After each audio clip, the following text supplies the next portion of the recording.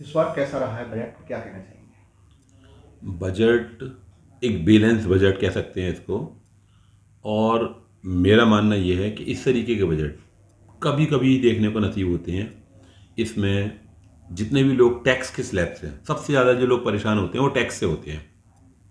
आज जो भी परेशानी रही है लोगों में, क्यों? क्योंकि टैक्स मतलब हो गया सारा ऑनलाइन जैसे पोर्टल पे आना, सब कुछ होना, इसमें पहले हमारे यहाँ एजुकेटेड लोग ज़्यादा नहीं होते थे। आज तो चलो बच्चों की युग आ गया, ये सब एजुकेशन में आ गए। तो ऑनलाइन देखना, समझना, आज डर लगने लगा था लोगों को कि हम कैसे देखेंगे अपना टैक्स क्या देखेंगे। लेकिन इन्होंने इसको इतना बैलेंस कर दिया। इनकम बढ़ जाए, घट जाए, तब भी कोई दिक्कत नहीं है। अब तो और टैक्स का स्लैब इतना अच्छा कर दिया है कि लोगों को इनकम टैक्स में और राहत मिल रही है। रोड्स के लिए बहुत सारे इन्होंने निकाले हुए हैं, शहरों के लिए भी किया है। और जिन लोगों को बेचारे मेहनती लोग हैं, जिनको कुछ खाने पीने को गवर्नमेंट फ्री देती थी, उस पर कोई रुकावट नहीं की। उनको जॉब होते दिया है? जबकि वो कम हो सकता था, लेकिन गवर्नमेंट ने फिर भी उनको पूरा किया है। यानी हर वर्ग को देखते हुए उन्होंने एक बैलेंस बजट बनाया है, जिसमें किसी को कोई भी नुकसान नहीं हुआ है। टैक्स के स्लेबों में भी उन्होंने कहा है कि कुछ उसको अच्छा करेंगे। जैसे मैंने भी सुनने में आया था कि छः महीने के अंदर जितने भी टैक्स हैं, इनको जल्दी से जल्दी उसको सॉल्व करेंगे जो भी केस या कुछ पेंडिंग में है। ये भी एक बहुत अच्छी चीज़ है। जल्दी केस सॉल्व होगा तो आदमी आगे ग्रोथ अच्छा करेगा। मेरे हिसाब से टैक्स जो इनका स्लेब है जो इन्होंने बनाए हैं बजट में जितनी पर, हर पैरामीटर ओके हैं।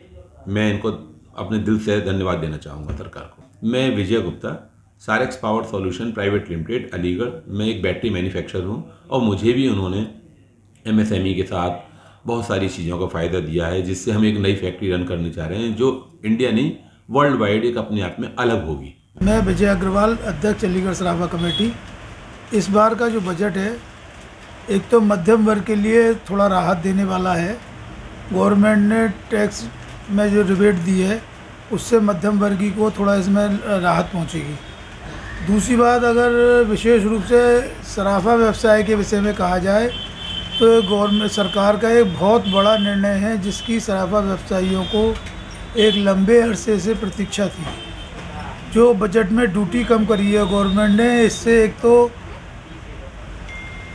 गोल्ड की स्मगलिंग रुकेगी, जो कि देश की अर्थव्यवस्था के लिए भी नुकसानदायक है और व्यापार के लिए भी नुकसानदायक है। तो ये गवर्नमेंट सरकार का एक सराहनीय कदम है, जो उन्होंने गोल्ड पैसे, एक्साइज, ड्यूटी काफ़ी कम कर दी जो पहले बारह परसेंट थी, अब छः परसेंट कर दी है। तो लगभग फिफ्टी परसेंट में गोल्ड एक्साइज ड्यूटी कर दी और जो सेस था, उसको भी घटा दिया गया है।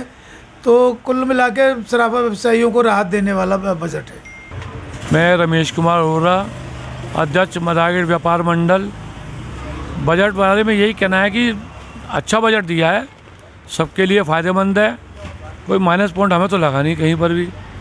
मैं समझता हूँ कि एकदम सीतारमण जी ने बिल्कुल सही बजट दिया है और कोई कमी नहीं दिखी, हमें तो कोई कमी नहीं दिखी। मैं अंशुमान युवा व्यापारी, महावीरगंज अलीगढ़ मोदी सरकार का सातवां बजट जो पेश हुआ है, बहुत बढ़िया हुआ सीतारमण के द्वारा।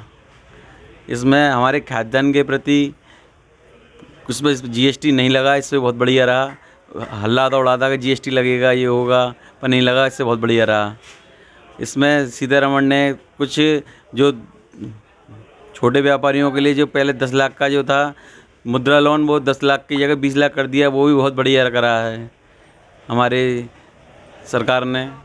इससे हमें राहत की मिलेगी और इससे जो युवा व्यापारी हैं, वो भी इससे जुड़ेंगे।